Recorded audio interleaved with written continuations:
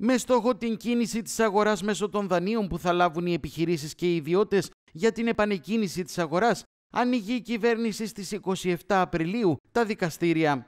Ο συμβολισμός είναι ισχυρός, καθώς επιλέχθηκε από το Υπουργείο Δικαιοσύνης οι υπηρεσίες να συνδέονται με την κίνηση της αγοράς, σηματοδοτώντας και το διακύβευμα της επόμενης ημέρας, εφόσον βέβαια όλα βαίνουν καλώς σε επίπεδο εξάπλωσης του κορονοϊού. Γι' αυτό άλλωστε με σύμφωνη γνώμη των ειδικών, προκρίθηκε η λειτουργία των υποθηκοφυλακίων έμιστων και άμιστων στις 27 Απριλίου και όλων των τμήματων που συνδέονται με τις εγγραφές προσημειώσεων, συνενετικές προσημειώσεις πρωτοδικείων και ειρηνοδικείων, ανακλήσεις προσημειώσεων, συντηρητικές κατασχέσεις, δικαστικές μεσεγγυήσεις. Για το θέμα μιλά στην τηλεόραση του Σέντερ ο πρόεδρος του Δικηγορικού Συλλόγου Καβάλας, Γιώργος Γραμμένος. Λοιπόν, ήθελα να σας ενημερώσω γιατί έχει δημιουργηθεί μια παρανόηση και το διαβάζω από χθες, ενώ ακόμη βρισκόταν σε εξέλιξη η συνεδρίαση της Ολομέλειας των Προέδρων που είχαμε.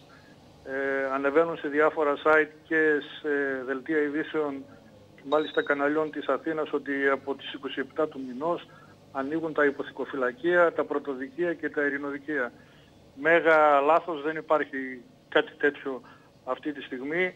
Αυτό το οποίο μας ε, ανακοινώθηκε και μάλιστα μας ανακοινώθηκε με όχι σωστό τρόπο, διότι ενώ είχαμε τη συνεδρίαση της ε, Ολομέλειας στην οποία ε, παρίστατο και ο Υπουργός Δικαιοσύνης αλλά και ο Γενικός Γραμματέας του Υπουργείου Δικαιοσύνης, ενώ λοιπόν είχαμε τη συνεδρίαση προγραμματισμένη για τις 1 η ώρα το μεσημέρι, λίγο πριν τη συνεδρίαση ο κυβερνητικός εκπρόσωπος εξήγηλε αυτά τα οποία εξήγηλε σε σχέση με την επανέναρξη, τη μερική επανέναρξη λειτουργίας κάποιων δικαστηρίων χωρίς ε, να έχει ζητηθεί η γνώμη του δικηγορικού σώματος, χωρίς να έχει ενημερωθεί ο κλάδος για τον λόγο επιλογής των συγκεκριμένων διαδικασιών και αυτό αποτελεί αποκλειστική κυβερνητική επιλογή χωρίς καμία ενημέρωση όπως είπα του δικηγορικού σώματος.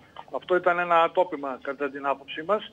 Εν πάση περιπτώσει αυτό το οποίο ισχύει αυτή τη στιγμή είναι ότι από τις 27 Απριλίου ξεκινάει η λειτουργία των υποθηκοφυλακίων και των ε, ειρηνοδικείων, των πρωτοδικείων μόνο όσον αφορά εγγραφές και εξαλείψεις ε, προσημειώσεων. Μόνο για προσημειώσεις λοιπόν, μόνο για εξυπηρέτηση τραπεζών και μεγάλων επιχειρηματιών.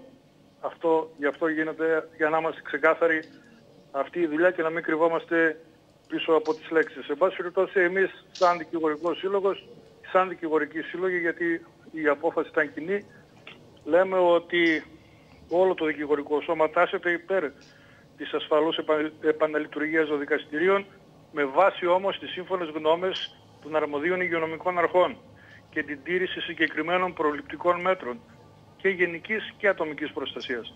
Αν δεν εξασφαλιστούν αυτές οι συνθήκες τις οποίες ζητούμε, δεν πρόκειται να συμμετέχουμε σε καμία διαδικασία και όποιος εξαγγέλει άνοιγμα δικαστηρίων δεν έχει τη σύμφωνη γνώμη του δικηγορικού σώματος και εμείς δεν θα μετέχουμε σε αυτές τις διαδικασίες και να δούμε αν θα μπορέσουν να λειτουργήσουν τα δικαστήρια. Συγγνώμη που μιλώ κατά αυτόν τον τρόπο, αλλά έχει ξεχυλήσει η οργή μας και, και λυπάμαι πραγματικά γιατί εγώ δεν το κρύβω. Είμαι χρόνια ανήκω σε ένα χώρο ε, και υποστηρίζω τη σημερινή κυβέρνηση, την υποστήριξα και την υποστηρίζω, αλλά αναγνωρίζω πολλά θετικά, αλλά σε αυτό το θέμα, το θέμα των δικηγόρων έχουν γίνει πάρα πάρα πολλά λάθη.